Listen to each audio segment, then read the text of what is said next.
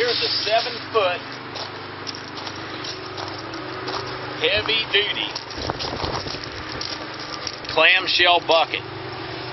And I think someone must have, uh, we're going to call it a, a custom made.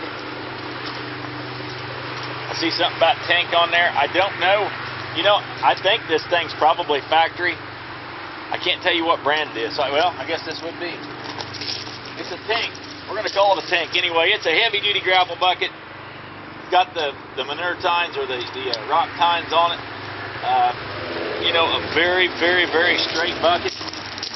It's got the, where it hooks into your auxiliary hydraulics. It has uh, John Deere ends on that. And it would appear that it's quick attach for a, a John Deere loader is what it appears to me like. Uh, I'm just going to give you the dimensions. You guys decide for yourself. This back here, I'm sure some of you can change. Uh, but anyway, it's, it is a, a very straight bucket. Be a hard to find bucket. If you got some heavy duty stuff you're wanting to move, these new light duty uh, buckets they're putting out won't hold up to what something like this will. I mean, this thing is solid and it's heavy. So we've got this for the quick attach. Looks like the outside to the outside would be approximately 32 inches. Inside to inside about 26 inches. And then we've got where you would pin in down here.